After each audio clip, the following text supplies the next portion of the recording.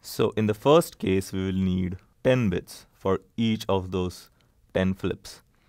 But in the second case, we don't need any bits because the result of the flip is always going to be the same.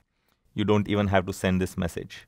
The folks at San Francisco will already know what is the result of those 10 flips. So realize what we discovered here. If the output of this coin is predictable, you don't need to communicate anything.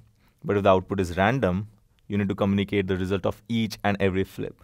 So more information has to be transmitted. If the sequence is predictable or it has less uncertainty, then it has less information. Shannon described this measure as entropy. He said if you had to predict the next symbol in a sequence, what is the minimum number of yes or no questions you would expect to ask? In the first example, you have to ask a yes or no question for every coin flip. So you have to ask at least one question for every flip. In the unfair coin, you don't have to ask any questions. So the information in the second case is zero, while the information in the first case is one. Let's consider another example to understand this better.